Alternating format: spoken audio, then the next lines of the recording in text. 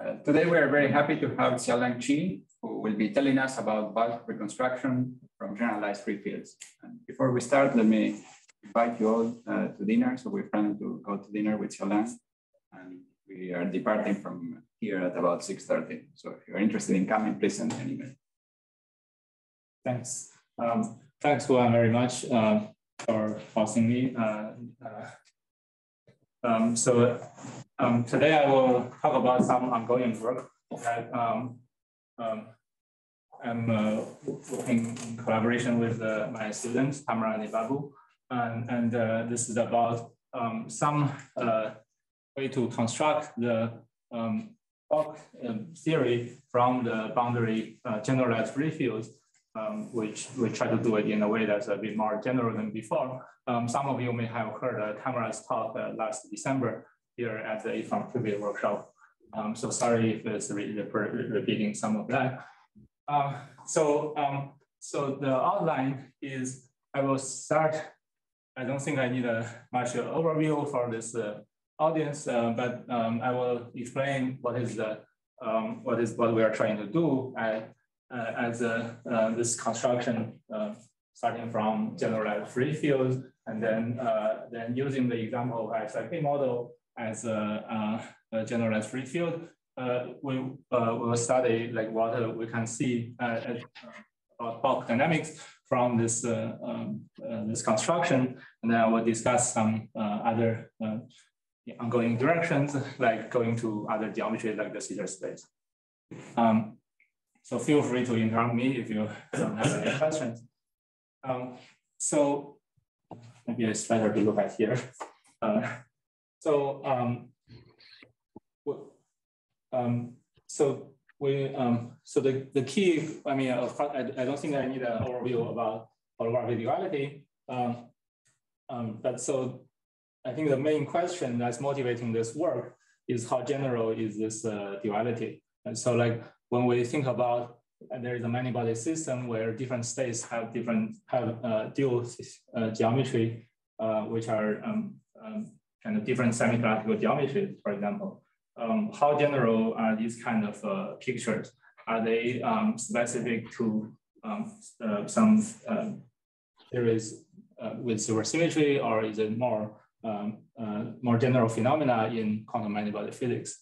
So that's what I what I hope to see like what part of this kind of um, um, duality between quantum between quantum many-body system and um, um, and the the um, the quantum gravity can be generalized to uh, generic quantum many-body systems. So before going to details, actually, because I was a condensed matter uh, physicist uh, by training, so I would like to make a comparison. Um, I feel like um, I guess this thing doesn't really show up on the screen. So uh, I, I, I feel like if you compare holographic duality with uh, uh like BCS theory of superconductor, which is like the typical like this. The, the physical point of holographic. Oh yeah, thanks. So um, so like the in the case of uh, superconductivity theory, we have some phenomenological understanding and we have some macroscopic understanding behind the phenomenological theories, right? So, so like there is a effective field theory, which is Ginzburg-Landau theory, which I think is kind of like a semi-classical gravity, uh, and where the order parameter, like the superconducting order parameter, uh, which becomes classical in the in a macroscopic superconductor, that's like uh, like the geometry itself, right? Like it's it's uh, um, generically it's quantum, but in this limit it becomes the classical field, and then there is fluctuation around it, which is like graviton, which is in the superconductor case, uh, well, in the superfluid case, it's like ghost almost. The superconductor has charge, so there's the Higgs mechanism of it. When I say superconductor, I'm just thinking about it as like this, like the electron pair superfluid. So, uh, so then what is really, what is missing is like the analog of BCS theory. Right? It's like the macroscopic theory, which you can start from there and derive is uh, is uh, um, effective um, effective descriptions which are played by which are like the semi-classical gravities and uh, and, and by the way, and the analog of like in the semiconductor, you have this order parameter, and the order parameter can fluctuate, and that's like post normal. But on top of that, you also have the fermion. The fermion lives in that background, interact with that with that order parameter. So that's like the parameter. And, and in, in the holography, there's also uh, matter field. So, so I think, that, well, we don't know much how to do that, but, but maybe the first step is like deriving some, like, like doing like the mean field level. So like we're, we're trying to do some kind of uh, mean field theory version uh, uh, of the, uh, the duality, which means we, uh, we, we get some uh, like free particle living on the background, but at least now, at least we hope to do that in the most general possible way. Um, so, so the starting point of our construction is the well-known uh, of HKLL, uh, where they show uh, that if you, I think the original work was in um, ADS vacuum. So if you have this field in ADS vacuum, then um, using the equation of motion, you can derive a relation between the boundary condition of the field uh, in this way, and uh, between the boundary condition of the field here and uh, the field value here. So then you can express that as a linear equation. And, and then because the boundary condition determines the boundary operators, so you can view this as a reconstruction of the boundary, uh, starting from the, the boundary operator, you can write down the bulk field um, as a function of that. Uh, so what the, uh, what we are going to do is, is some um, something quite similar to this, but there is some logical um, difference, which is uh, we want to say if we don't assume there is a equation of motion we know, if we don't know anything about the bulk equation of motion, what can we, uh, uh, whether can we start from purely boundary data and do this, uh, this reconstruction. So the take home message um, will be, um, we start from this boundary two point function. So say in the simplest case, which will be mainly what I will talk about, in the simplest case, it's just a, a time, right? Let's say think about zero plus one to one plus one. So we start from a, a system in zero spatial dimensions, so just time. Then um, we can think about bosons or fermions, but uh, because our example is the SYK model, so I will be using fermions. So this is some Majorana fermions. And then you start with this two-point function of the Majorana fermions. And uh, uh, we start from that data and knowing it's a generalized free field, which means it satisfies a Wick theorem, then we try to, we construct um, a bulk theory. And the way we do it is uh, by first discretizing time. And then in the discrete time, uh, the bulk theory is a quantum circuit where the, the, there is a bulk fermion moving in that quantum circuit, which reproduces the same uh, two-point function. And the interesting thing is that this whole theory is totally determined by this boundary data. Any questions? Okay, so um, so so so generalized free field. I I uh, I just mean uh, the the fields that that correlation function satisfy the Wick theorem. So a more formal way of saying that is if I introduce a source term for that field and integrate all the the the, the chi uh, action, then I get uh, the Gaussian um, generate. Sorry, this is eta here um, I get a generating function that's Gaussian, and the other non-Gaussian terms are subleading. So um, that's the theory. Uh, so so when, when, whenever I have that, then the chi correlation function will satisfy the Wick theorem. So uh, all the higher point functions will be determined by two-point function. But this doesn't mean um, the, the action, doesn't mean chi is a free theory. So you can have, so the example is the like SYK model, which we will um, briefly overview. So uh, you can have a, the key point is that you can have interacting system um, where you, where, where um, you still have uh, Wick theory. And so um, we know SYK model describes um, some zero plus one um, theory where you have n fermions interacting with each other.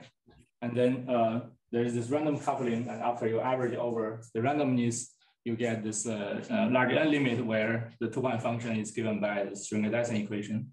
And importantly, the four-point functions are suppressed by one over n. So if you consider the theory in uh, large n limit, then um, there is this uh, um, generalized, uh, so the, the chi, chi fermion field becomes the generalized free field and all the coordinate functions are determined by the two-point function. And the two-point function itself is obtained by solving the Schwinger-Dyson equation. And um, um, so, so one, one thing we will start with is, uh, uh, for example, the simple fact that if you consider a, a, a two-point function in the thermal state, it will decay exponentially. And so you get this, uh, this two-point function of SYK model, which is diagonal in the in the fermion label I, and uh, and the decay exponentially uh, in time. Um, and at low temperature, we know uh, the dual the SYK has a, a dual, which is the JT gravity. Um, and but in this uh, in this work, we will be working on SYK model with general temperature. So one thing we need, we want I want to clar clarify is the fact that SYK model has this large n solution and uh, the um, generalized free field, these have nothing to do with the low temperature limit. Right? So this, this by itself doesn't tell us the model has a dual, gravity dual in the, in the ordinary sense. So because at finite temperature, this model doesn't have this emergent conformal symmetry. So it's it, it, so so it could be very far from the conformal limit. And so so the, the requirement that you have generalized free field is separated from um, the conformal symmetry. Um, so, okay, so now let me describe what um, we what we uh, propose to do. Uh, so this construction here is not specific to SYK. It's a, we're using SYK as an example for a model with generalized free field. So for any model with a generalized free field, we want to start by considering this quantity. So we have coordinate functions in real time. We can consider commutator or anti-commutators, but let's start from the anti-commutator of the fermions at two different times. So, um, so for SYK model, you'll get some something that's a delta function in IJ, but that's not so important. So, so in general, let's consider this matrix here. So, so um, um, if you compare, so you ask, okay, what's the key difference between a model with generalized free field and a model with a free field. So for example, if you have another theory, which is just free fermion, you have a Hamiltonian that's bilinear, then what happens is this anti-commutator will be extracting the um, single particle time evolution matrix. If, if you have a free, like a quadratic Hamiltonian, the time evolution of chi will be just linear superposition of, of chi. So, so then, then that means if you take an anti-commutator of fermions at different time, you just get the transformation between them, which is a unitary operator. And for, for Majorana, it's an orthogonal operator. So this is the, the, the key difference that tells us something, that tells us that um, once this anti-commutator matrix is not unitary, like this thing will decay in time, so it's not unitary. Uh, once this anti-commutator matrix is not unitary, it tells me um, some information goes missing at in time evolution. Some information disappeared from the single particle trend. That's what uh, physically it means. It means the single particle state evolves to multi-particle states. So the chance it stays single particle becomes smaller than one. Um, and that's the key difference between the. And that's the key observation that will allow us to, um, to construct the bulk fermions from the boundary fermions once you have this kind of linear independence fermions at different time. Um, is it important here you have a black hole? Because uh, if you had something like ADS without the black hole, then it would be in the. Uh, no, uh, if you take zero temperature limit of SYK, this uh, matrix is decayed with power law, um, but the same thing is still true. Like the chi i's, the states, basically the, the operators at time t and operator at time t prime, they are linearly independent. To make them dependent, you could take n equals four super Yang-Mills below the Hawking-Page temperature. And then you'd have a unitary transformation. Uh, what you're saying is amounts to the fact that even at zero temperature, the SYK model doesn't isn't below a Hawking-Page transition. Um, I, am not sure. I'm not uh, in the case of uh, Sylvain uh, like on the boundary, well, I think that what in the higher dimensional case, what we can say is any field with anomalous dimension uh, still satisfies this condition. If you have a field which doesn't have anomalous dimension, then it's like this. It's like it, it lives in this dimension. Have the distinguishing between the free field and the boundary. Yeah, yeah. So you you have a yeah. Here I'm talking about the, this on the boundary. Like even in superharmonious, I would uh, I would guess it's so if you have a, in the boundary CFT, you have an operator that has an anomalous dimension, then that should correspond to not something with a unitary like Hamiltonian on the boundary. I'm not sure because there's a nice Hilbert space in which the evolution is occurring. There is a when you include when you include the interaction, yeah, like uh, the, the SYK has a well-defined Hamiltonian. N equals four below the Hawking-Page temperature. Well, yeah. what I mean is like you have the boundary and then, yeah, so in the dual picture, you have the bulk. Then the, the whole point here is saying, if you don't have, if you just look at the field in the boundary, although they, they are generalized free field, is by Wick's theorem. Um, um, if I look at, if I look at how, uh, like if for boson, it will be commutator for fermions, and the commutator, if I look at this, um, I expect generally this, this uh, linear map between states here and here is not unitary because, so, so the interpretation on the boundary, why this is not unitary, is that single particle states will become multi-particle. And the interpretation in the bulk is there is a bulk. And that's exactly what we're doing here. Like we're saying, anytime this happens because of interaction, you can trade that by putting in effective bulk. And, and that bulk is basically determined by this procedure.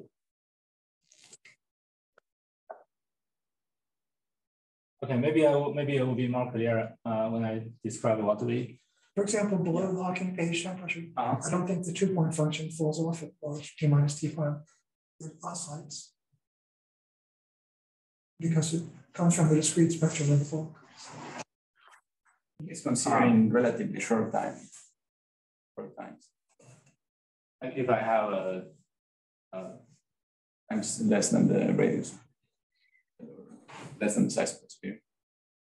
Okay. Uh, whether, but, but I could have the boundary being an infinite plane. Yeah. Then, then, do I, then do I still need to consider yes.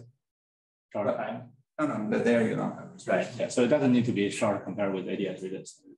Sorry, short compared to the size of the sphere.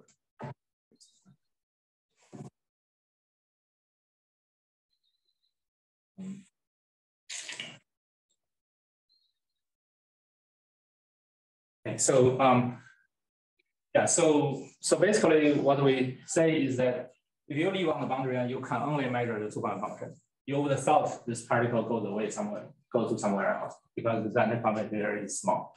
And then um, then okay, it's not surprising that I tell you you can always make this uh, one higher dimensional theory and say uh, um, this the reason why we're talking about this, well, I don't know how to do it in, in continuous time. So that's why we're discretizing time. So let's say in the SYK model, the correlation function you can compute for any time, the time is continuous. But let's say now I only focus on the correlation function where t, t prime, t, t prime at some discrete value.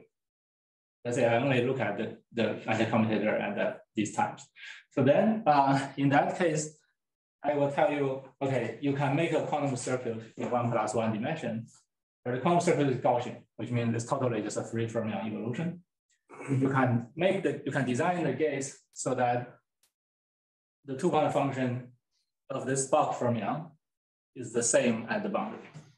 So you have a two you have a bulk fermion per size ZT, which uh, which lives on the links, it lives on the links, and then they they interact with each other these gates are Gaussian. It means that they're just doing linear transformations, unitary transformations to the fermions. And then uh, now if you calculate the psi-psi correlator uh, at the z equal to zero line, and this is, uh, to clarify, this is not a gate. This is just identity. I'm just putting the point here to tell you where are the boundary. So this is a this is semi-infinite circuit. The circuit is semi-infinite. And then here is just this line and this line are the same. It's just identity. And these, these are purple and blue are gates. Okay, so it's not surprising that you can design the gates so that so that the two-point function looks exactly the same as what you get from a circuit model, right? I mean, if you count the number of parameters, you have enough number of parameters to do that.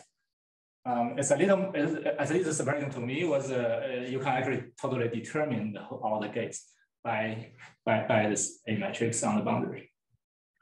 Um, if you think a little more, it's also not so surprising because the number of parameter counting works. Uh, uh, but the, um, um, this is a, um, this is a, um, a little special because like if I tell you correlation function, let's say if I have a fermion state, I tell you the correlation function along this line, that's not going to determine correlation function later because you have to tell me what are the gates. But the special thing is like if you do this in the time direction, then you only need to do to know this line. And you and I and the other condition I need to tell you is these gates are unitary. But I don't need to tell you what are the gates. As long as you know they're unitary, Gaussian, then uh, they can be determined. A of tt prime is supposed to be any function? Uh, A of tt prime uh, it can be any function. And the only condition that this procedure works is, uh, well, it's a symmetric. It's a symmetric function. Uh, the only con condition this works is a, as a matrix has a non-zero determinant. Um, Since you're trying to describe space of A's, well, you pass on A to be positive definite. Oh yeah, it is positive definite. Uh, right, yeah. Since, you're trying, since the space of positive definite A's is contractible, and the space of unitary operators has a lot of topology, it's very surprising you can uniquely parameterize one by the other. Uh, that's interesting. Uh, the unitary is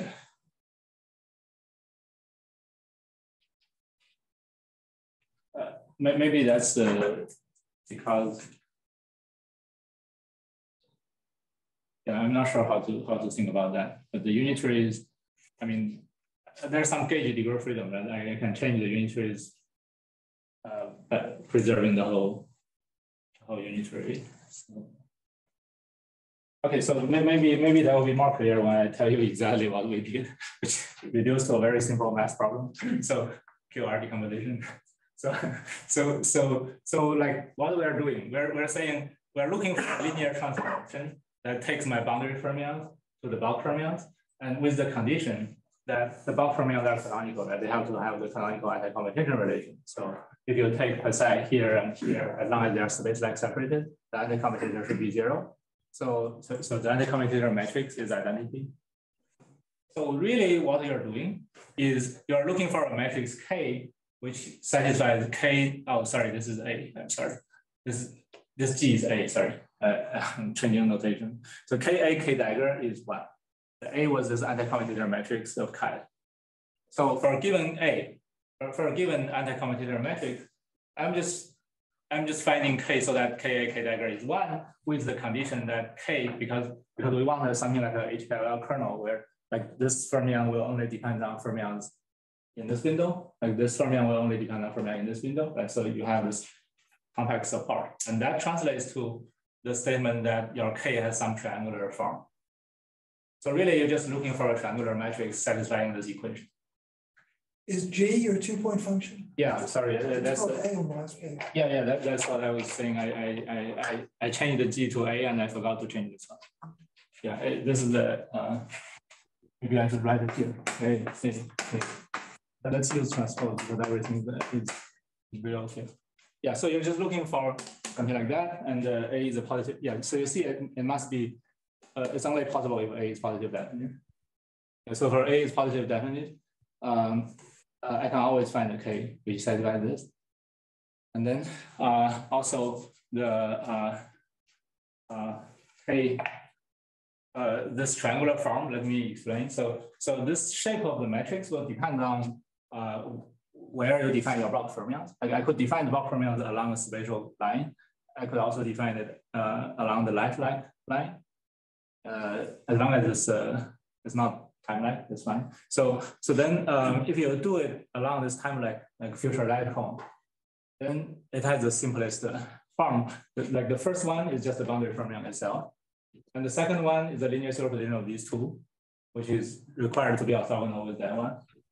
So that's like this here. And then the third one is like has three entries. So it's really just a triangular form. And the reason why it's this shape is just um, we are ordering boundary time like this, and we are ordering the bulk fermions this way. So, so it looks like that triangular rather than this one. But anyway, it's just uh, mathematically it's very simple, just doing QR decomposition. I don't know how to address that uh, add uh, comments about the topology, but, uh, but basically um, what you're doing is you take uh, this, you take K, sorry, you take G minus one half, and then do a QR decomposition, which means Q is the orthogonal matrix and K is the triangular matrix. And then, uh, so that, uh, uh, that's not the, the Q is not the unitary gates I'm talking about. But this, this we haven't got the K gate yet. What we get is this transformation from bulk to boundary. And, but that guarantee you that once I define this, this mapping K, that determines all the gates in the bulk.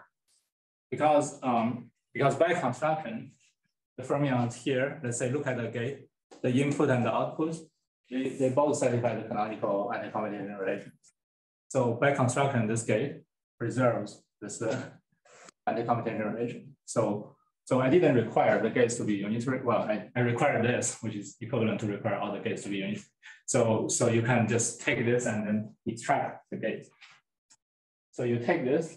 Oh, um, so sorry, could you go back? Mm -hmm. What is, can you remind us what's unitary and what's K G is the same as A, which is unitary. Yeah, sorry. Uh, sorry, no, G is the positive dimension matrix, which is the anti-commutator between boundary fermions. Which one is this?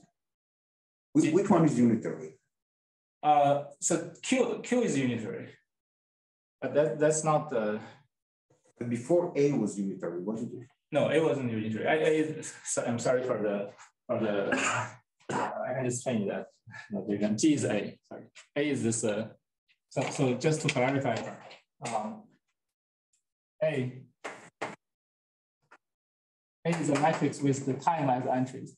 So pi t. In general, there could be flavors. We can let's for a simple SYK model. There's only one flavor. And then um, you compute this, let's say in some state, let's say thermal state of SYK, uh, for example, then you get this matrix. And that's not unitary.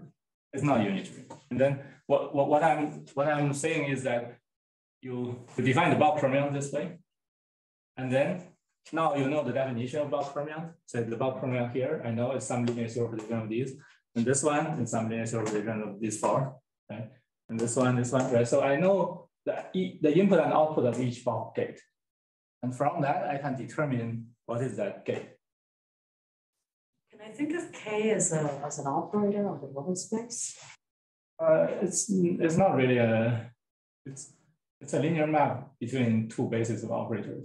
It's a linear map between two bases, but that's that's an operator between bases. So you could certainly write down an operator corresponds to that, which won't be because the transformation itself is not unitary, so it's not a it's, it's not a unitary operator. Yeah, it doesn't have to be unitary, but it's certainly an operator, right? Uh, I think it's not or something, but not on the Hilbert space of the tree, if that's what you want. It's an operator, right? I think you can write it in the way like psi equals to i times something. like, uh, yeah, I'm not sure how to do that because like you don't, you don't want to write something like I have an operator which do this. This will preserve the commutative relation. So this will, will not work. Because I, I want to find. So, so you can you can think of as I add some operators in my so so really what I'm doing is I'm taking this chi t with different time t, mm -hmm. and then I'm doing some linear superposition. So you map at a different time space. We map them to the side assign a different DT. And there is a label like left or right mover. Yeah. And what I'm saying is if you take larger than limit, these satisfy the fermion anti-commutator relation. It seems like it's mapping from a space of fermions to a, to a space of different fermions, maybe. So I think it's better to, uh, yeah, it's mapping from, maybe it's, maybe you can think of it as mapping from the Hilbert space of the SYK, the boundaries, to, to the Hilbert space of the fermion, where this is not the actual Hilbert space of the actual like quantum gravity theory. This is like effective like bulk fermion living everywhere. So it's a much bigger space. But there is a mapping from here to here. But maybe you can think of the, this, the target Hilbert space is also living in the boundary space. It's, you're defining the, a subspace of the boundary Hilbert space that's the left-hand side. Something like that, yeah. And it's like, yeah, it's like if I focus on, if I take large n limit and focus on all the with finite number cycle, then uh, there is a one-to-one map between that part of the Hilbert space and that part of the fermion Hilbert space. Uh, I will come back to that point later. But, just to clarify what I was trying to say here, just this, there is this point about the gates, like because we know the kernel, then we know how to express the bulk fermions, the input, the blue one are the input of the gates. I, I, I can write down these as linear superposition of the boundary fermions, and I can write down the yellow ones also as linear superposition of the boundary fermions. So, so, so that determines what is this gate, which is a single particle transformation. So in the simple case here, where I only have one flavor of fermion at every link, uh, the, the transformation is just a two by two matrix. So there is only one parameter, which is the, the gate angle. So I'm taking these two, the blue fermions, and then hybridize them and couple them, taking linear superposition by this uh, two by two transformation. So I'm, I'm calling them different names, U and V, because uh, there's two kind of inequivalent predictions. That doesn't really mean much because this direction doesn't have translation symmetry. So you actually have many different gates. So like all the purple, all the purple points have different gates. And uh, in this uh, special, uh, like in the case of let's say SYK thermal state, this is only a function of t minus t prime. So there is translation symmetry in time, but this formalism doesn't require that. You can take a general ATT prime matrix and do the whole thing. So in general, these gates are different in both space and time direction. But if you take, let's say, take the simple example of SYK thermal state, then everything only depends on Z. There is translation symmetry in time. Um, so you get these gate angles. And then what do you see in these gate angles? Numerically, if I put in this SYK thermal state, you see um, the gate angles approach pi over two exponentially. If you move this way, both theta and phi will approach power two. And what does power two mean? Power two means that means the gate looks like this. Uh, you see, you see. Power two means the gate is a slope. This one just become that. So, so, so physically what happens is this picture. So you have this case which has, which your particle comes from the boundary and it has some finite probability getting reflected at every node. But once you reach somewhere here, which is like deeper than the thermal length, then the chance you get reflected is very low. So you just keep going. The evolution of this fermion will become trivial.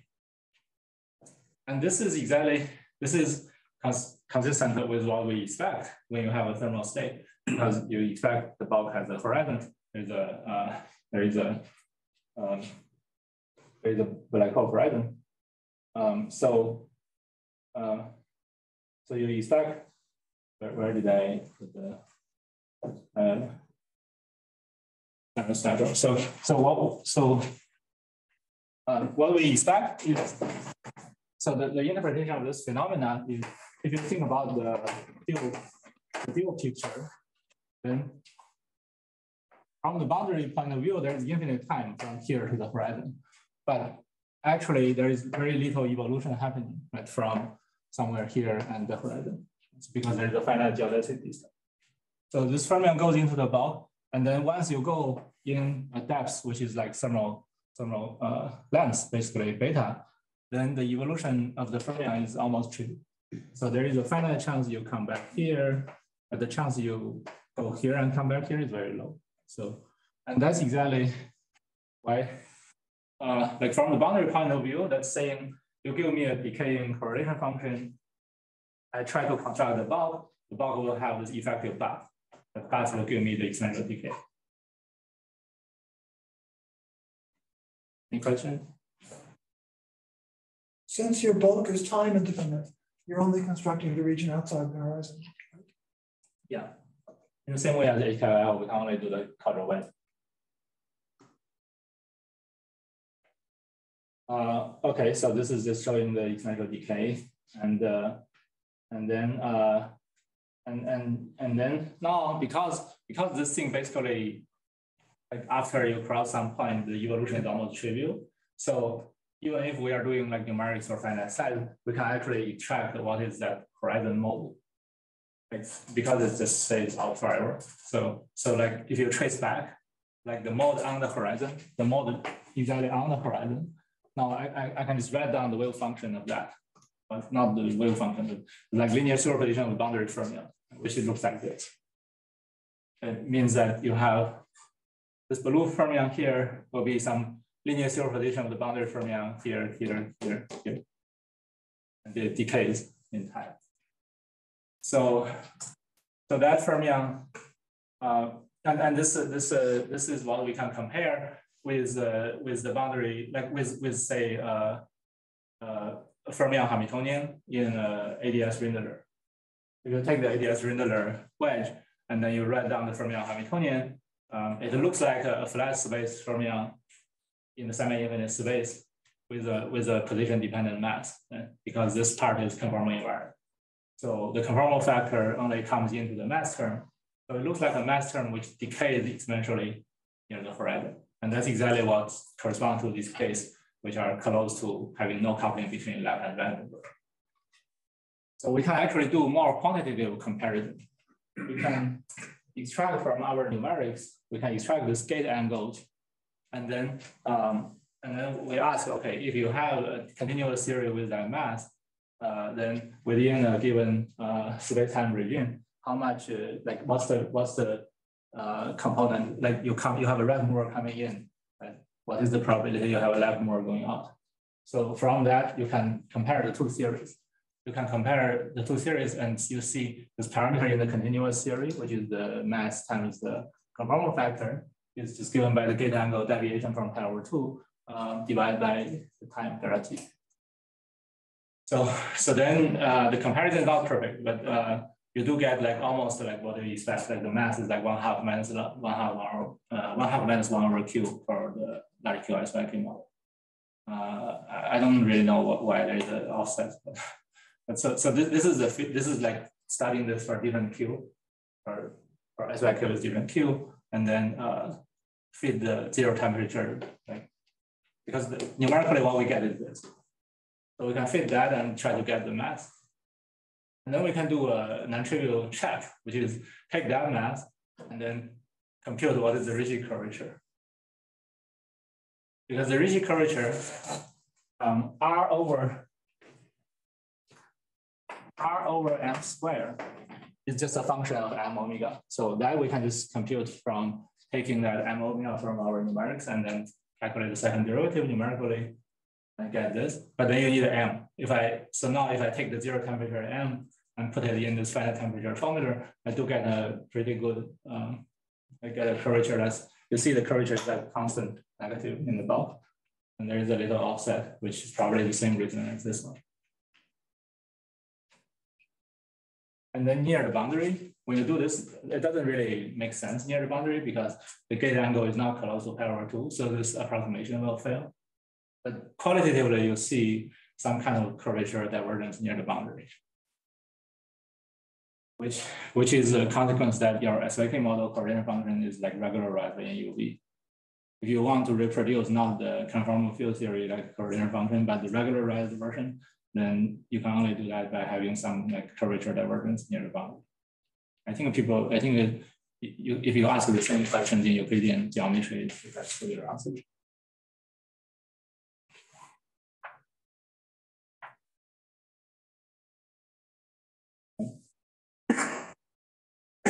Okay, so uh,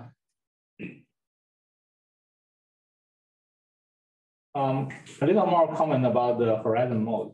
So um, if you think of what they mean, like I, we have using this algorithm, we construct this horizon mode. Um, and what, what, what they mean is if you take this horizon mode, it anti-commutes in the large limit, and then I commute with everything.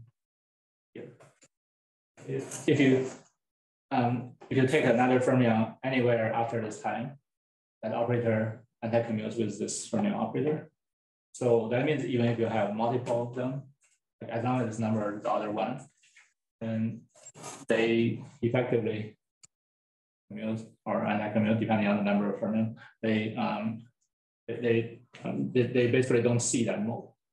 So basically, what we are constructing here is like you have a you have a system where um, you actually actually like if you measure correlation functions of chi on the boundary, if, if it's finite n, you should be able to detect everything. But once you first take large n limit, there's some hidden things that you could not detect on the boundary, at least after some time. So, so it's like what is what, what information is appear to miss appear to be missing uh, is these modes. These modes you throw into the black hole and you can never see them unless you um, you, you go to like other end side operator. So this is saying like, yeah, this, this is telling you how these horizon modes are related to the, the missing um, information. Or you can say it's like protected quantum information, which you can put in the black hole. And I want to emphasize like all this, the, the difference from constructions before is these are all independent from knowing the bulk, uh, knowing the bulk geometry or dynamics. Like, like we could do this for any theory with a generalized free field. Um, and and uh, generically, you expect to see this kind of horizon uh, as long as the two-point function decays in time. Did you have an explicit construction of the infall and outside? The infall? Did you have an construction? Uh, only until here. Until here, yes, but not not inside. Uh, like we have a, you give me any point here, I can, this construction will tell you what is the definition of the fermion operator there. I was just wondering if you, if you showed some, some formula, say for psi? For psi? Yeah. Like, uh, like. Did you construct it? Oh, uh, I constructed it because of the kernel K. You find the kernel and is K. Oh, okay, okay. So yeah, so in particular, like the horizon mode you can do this numerical, you can find the K numerically, and then you see th these are basically components of K metric. This is saying if you if you fix the bulk fermion to be here, then it's a linear superposition of boundary fermions this way, but it focuses on it, it will focus on here. I give you you can also do it for the task horizon. Task horizon modes will be fermions. Let's say this task horizon mode will be the fermions here a little bit. Uh,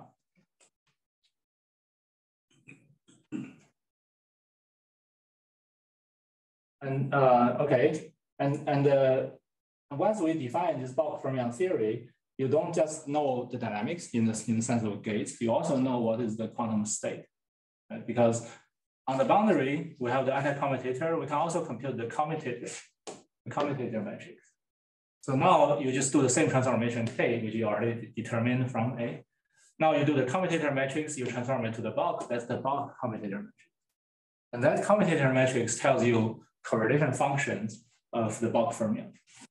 So the anti-commutator part just tells you they are they are fermions, they are anti, they are canonical fermions. But then, like if you take give fermion state, the fermion state has like equal time correlation function which determines the state, and these equal time correlation functions are basically just commutator matrix. Uh, so, so, so for example, if I give you an interval in the bulk and say I want to compute the entropy of the bulk fermions in that region.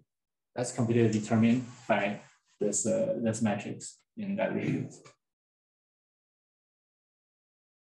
Uh, generally, it's determined by equal time correlation functions. Here is just because canonical, the, the anti-commutator is fixed, so it's determined by the commutator part. So you can compute the entropy, and then, uh, for example, you can you can take a boundary time interval and then map it to the, to the bulk, and it becomes this time interval starting from the boundary to somewhere. And then uh, you will compute that, you get an entropy that's linearly growing is, is the size of this region, which uh, at the beginning sounds a little strange to me, but then I think it, it makes sense because basically what happened is you think like when this approaches the horizon, in the box, it's like a finite this is a finite depth, this is finite distance, but the UV cutoff here is getting smaller and smaller.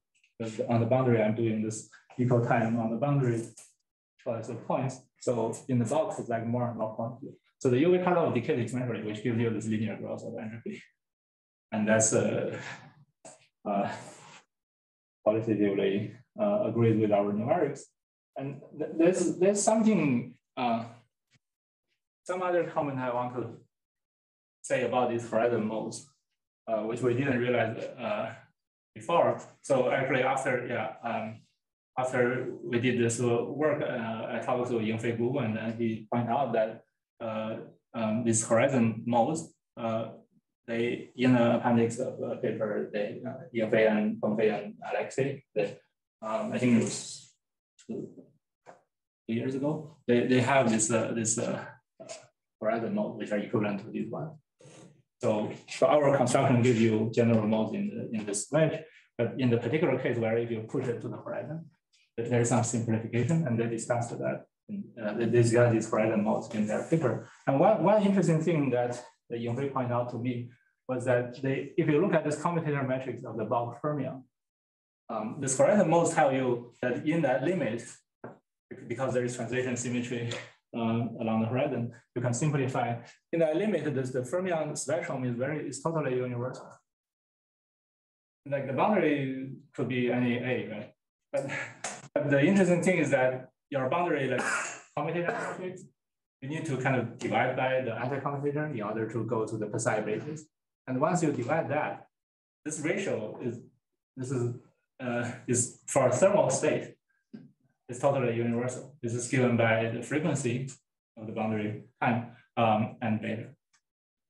And that's just some, I think that's fluctuation dissipation theorem. So it, it's anti-commutator and commutator has some relation. And it's totally independent from the boundary detail. So what this tells me is that you can you start from this general boundary theory. Let's say it could be SYK with different temperature. It could even uh, be a different model. Uh, but as long as it's a thermal state, then you do this construction and you look at the eigenvalue spectrum of the bulk fermion, which means which means you're looking physically you're looking at the bulk the bulk like reduced density matrix of the fermion, and and they they look they look bilinear. So that's that's the entanglement spectrum. And then the statement is that this spectrum is totally universal. It means it's it, it's the same as a fermion with linear dispersion. Because fermion with linear dispersion will, will have um, fermion with linear dispersion will have like fermion number. In general, it's like energy like, like this. And if you have fermion with linear dispersion, then there is there is one um, for each for each momentum there is an energy omega equals to k. So you will get so so if you have a chiral if you have a like a Weyl fermion in one D, then at finite temperature, um, the eigenvalue spectrum of the thermal state will look like this. And so somehow that's always what you get uh, when you start from the general boundary.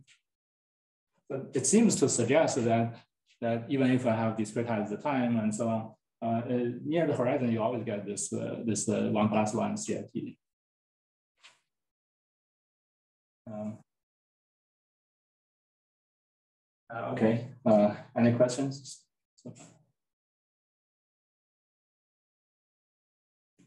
Is the reason you, why, why do you need discretization? Where in the? Uh, I don't know how to do this QR decomposition with continuous series. So, so if, if it should be not so, I mean, it doesn't feel like it's so hard a problem, but I don't know how to do that. So mathematically, we know how what's the analog of QR decomposition in continuum, and can do that.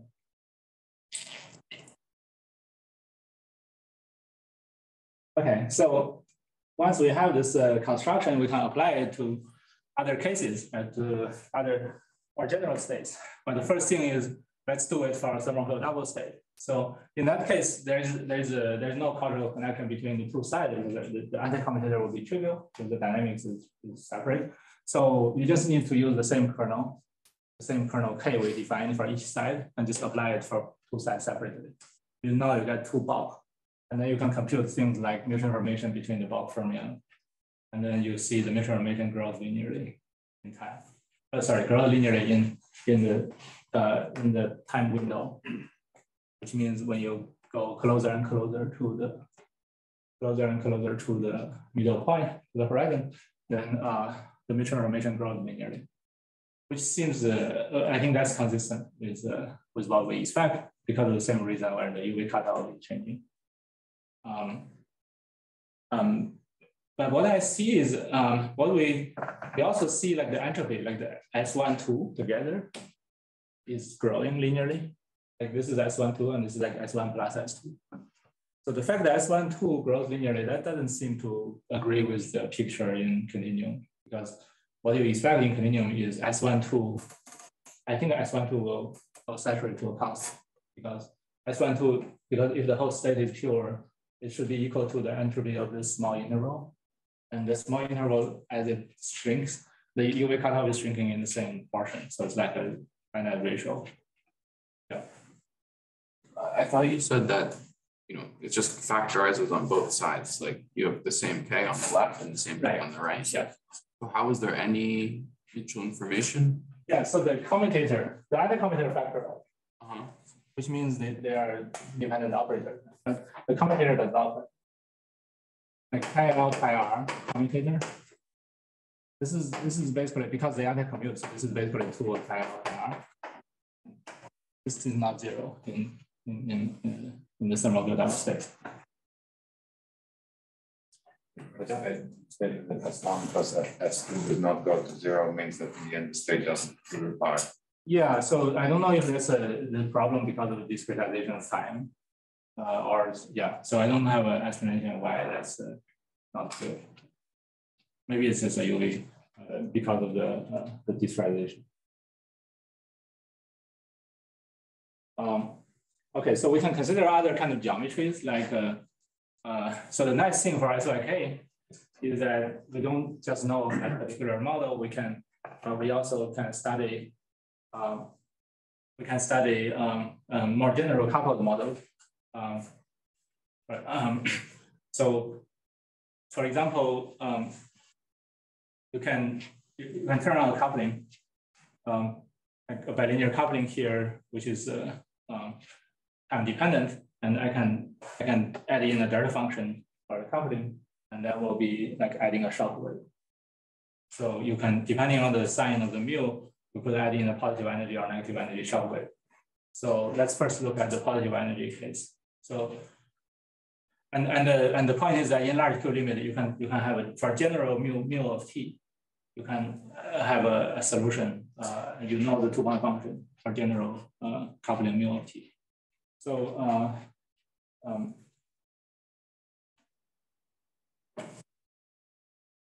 so you can see um, so what, what we, uh, we can turn on this mu t and then uh, solve the two-point function. Uh, and then just put that two-point function into this, uh, this kernel finding algorithm. So now there is coupling between left and right. So you should uh, do it for both sides together. If you should, you don't, don't do it separately in two sides. It means you, you take, you just take the whole thing and fold. So you view, you view the left and right side as just two flavors. So I can do this for two for one aspect. I can also do it for aspect with additional flavor in that. So so we can uh, chi L and chi R. Let's call chi one and two. Uh, chi one and chi two are these two sides, and they are coupled. And then so we're coupled on here.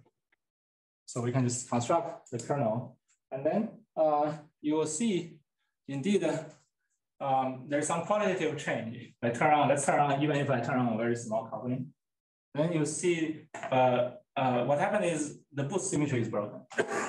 So, so the key difference is like the two point function between this and this. Previously, it was like as big as between here and here, and now it will be much smaller. And that translates into the bulk picture that the two point function between these two bulk points um, goes down rather than stay the constant. Like when you when you move these two points in, the two point function decays. And then when if you calculate the mutual information between the two intervals, it now saturates to a finite value rather than divergent. And that's just telling you that the two points never get close to each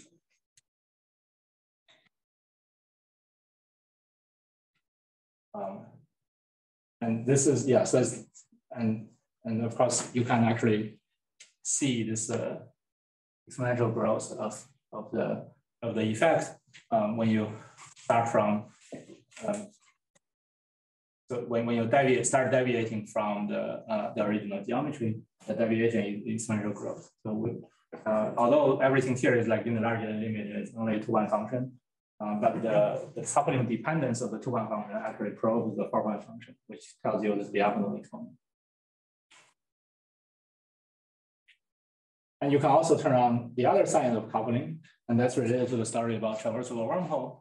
Um, so, uh, for example, this uh, this uh, eternal traversable wormhole that Juan and I uh, studied when when I was here uh, in in the 18th.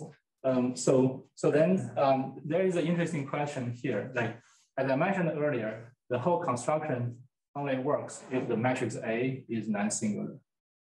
So what does that mean if the A becomes singular, right? If it's not positive dimension anymore. And that's exactly what happens here. Like if you look at this uh, this traversable wormhole geometry, what happens is the two-point function now doesn't decay in time anymore. It becomes uh, periodic. So the two-point function will like decay and then it uh, come back to one. Right? And the left-right two-point function is one here. So, so what that means is if you if you look at the two-point function matrix, you have it right there. If you look at the two-point function matrix, um, let's say this is the time t, uh, t the zero, and this is the period, the half period. Yeah. Then uh, this is one, and this is one, this is one, this is one. And something in the middle is like smaller than one. And this this matrix have determinant zero.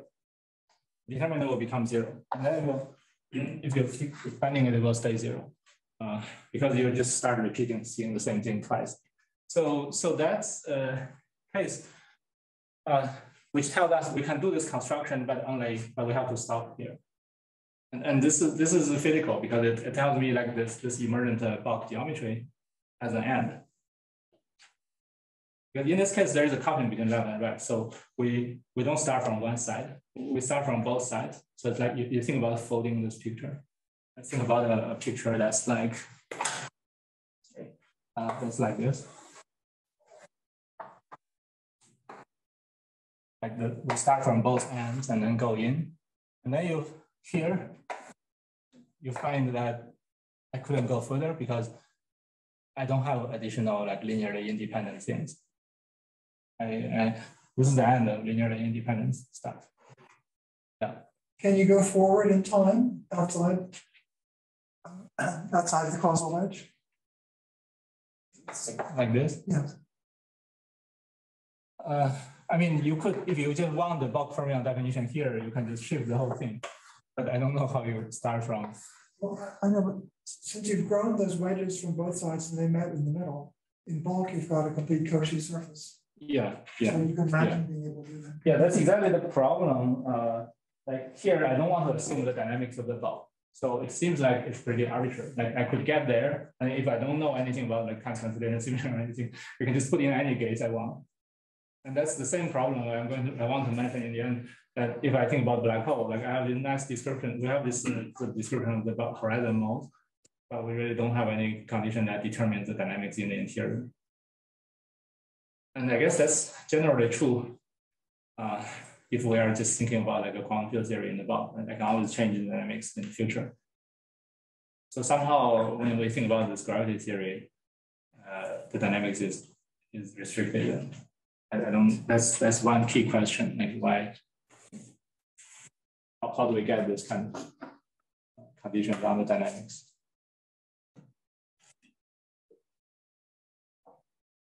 Um, and just to show you some, uh, this is just for fun, but uh, like if I turn on the wormhole for a finite time, uh, I turn on the wormhole for a finite time and then turn it off, which means I have the coupling, which hold the, the two boundaries at some finite place. And then I can hold it for any time I like and then release it and they just go back, become hole. And then uh, in that case, what you see is that um, um, you see, well, what is plotted here is like like the reverse of the kernel, which means how uh, like if I take a boundary fermion here, what's the probability it become the bulk fermion uh, at the bulk location? And I think the dark part is like zero, which, which is saying like, which is saying, um, so, so basically this part is like the normal part, like your boundary fermion will become the bulk fermion and bulk fermion lasts forever. And that's like, that's when you hit in the horizon. But then if you send in the particle early enough, you are here. And then the particle never goes into the horizon. Particle goes, comes in, and then come back to, uh, go to the other side. So since we are starting from both sides, uh, what we'll see is like the particle comes here and got reflected back to the boundary. remember this floated, floated picture. So, so what that means is that your determinant becomes zero in this region, and uh, you should stop your construction. There is this middle part.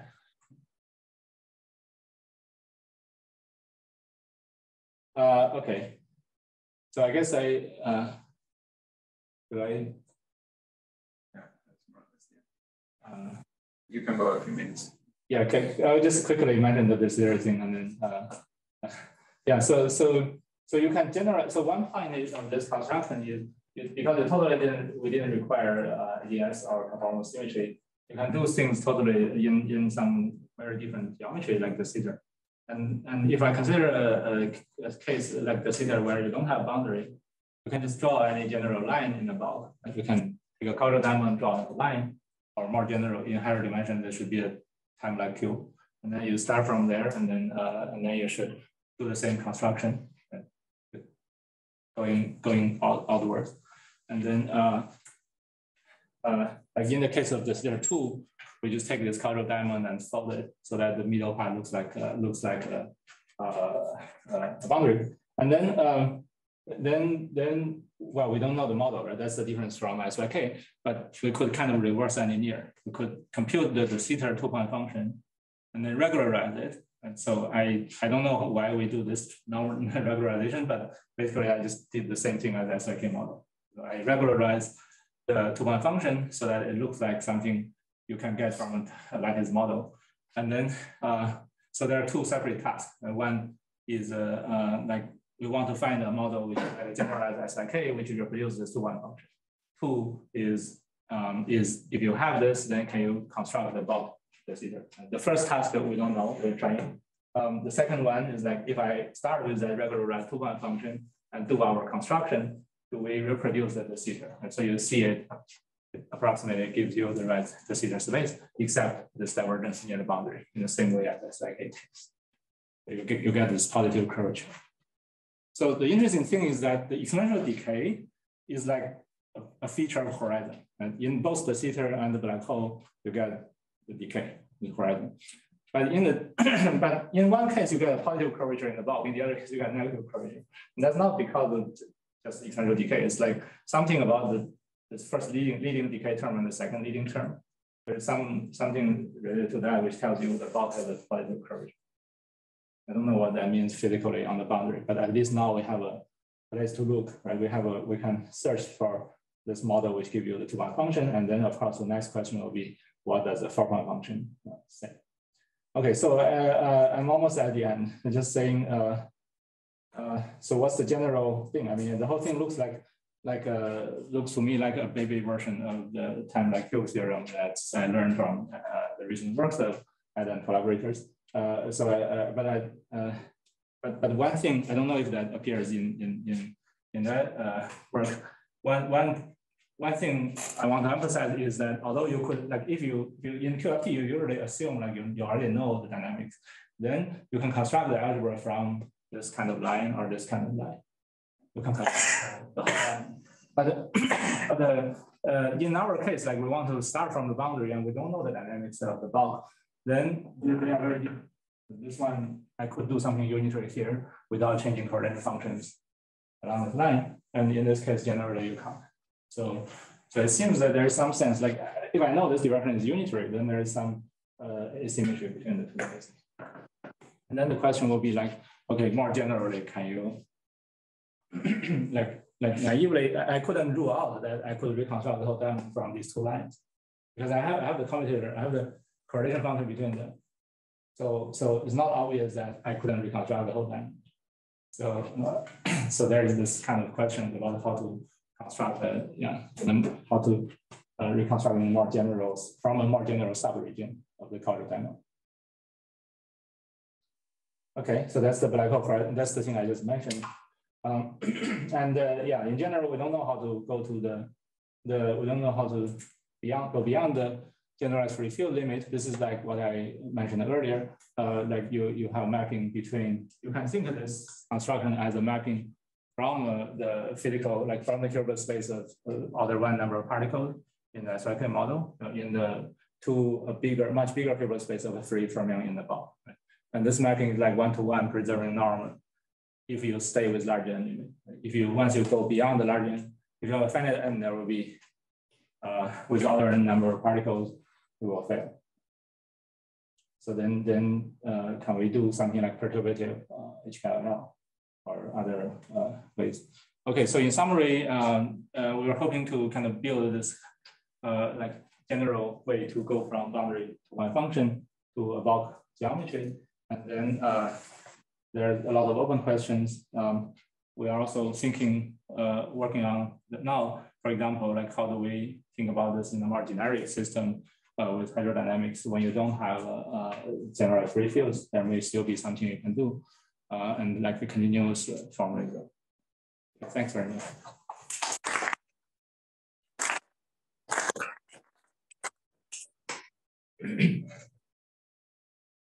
Other questions? When you compute this K, I'm guessing that you don't uh, you have the reparameterization mode of the two-point function. You factor that out. That's the four-point function level. Sorry. That, that's at the level of four-point function. I mean, that's one way. Uh, so the Schwarzian, like in SYK, the, the Schwarzian mode are giving you corrections to the to the it give you it gives you like connected format. It also the two-point function. Yeah, so like if you are talking about, uh, let's say in the case when I have a coupling, which the effect of that in low temperature is to introduce a recurve That's like a classical thing, like you deform their boundary. So in that case, yeah, I can just take the deform to one function and compute the, the kernel from that. Have you tried that?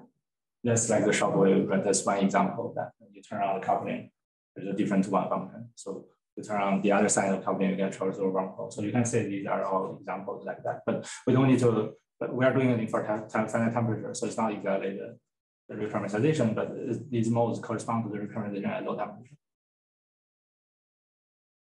Uh, in finite temperature case, um, uh, Yuri and I have this, uh, Yuri Lensky and I have this uh, paper where we show you can actually do a complex value representation, which describes the general. By finite temperature, you mean not in the low temperature? Not in the low temperature. Yeah, but if you are talking about fluctuations given by the, the representation, that's the one we're correct. Like the optimal between TOC, right? These are like that's a so when you quantize that mode, you have a Hilbert space labeled by points in the bulk. Yeah. Yeah. So I, I guess I don't have that here. Well, I think if you somehow find a, well, I mean, uh, okay, so you have a discrete scheme. But you had an operator that mapped fermions on the boundary some space of fermions in the bulk. And um, maybe it's possible to think about that offloader as a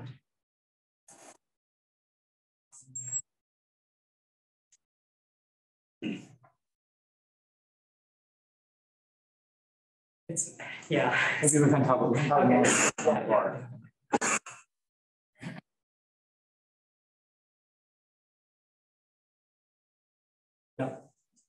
So in the ADS case, uh, Z going to zero, like that, that's like standard thinking about it as like a regularization, like, and so it's okay to like have this like large deviation around there.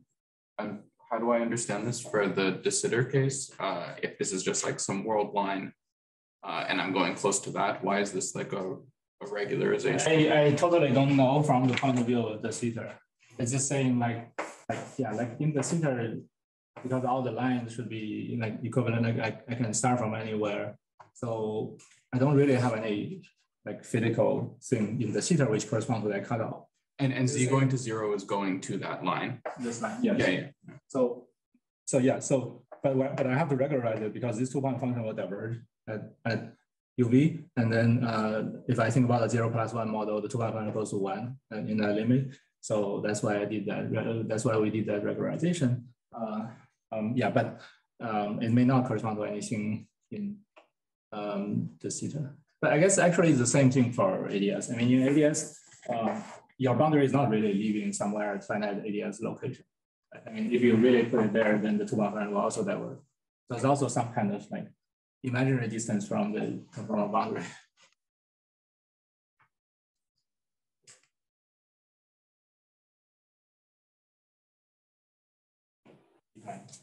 If there are no more questions, let's thank uh, Xiao-Liang again.